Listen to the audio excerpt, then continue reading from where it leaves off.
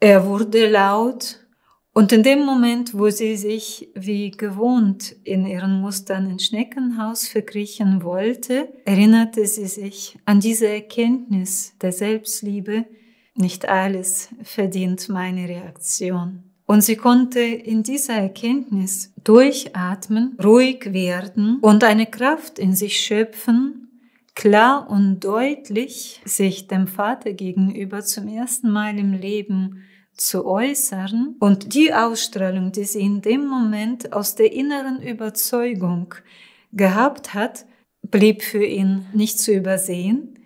so dass er ihr zum ersten Mal im Leben zugehört hat, ihre Idee für wunderbar empfand und dadurch ist ein wundervolles Vater-Tochter-Projekt sogar entstanden.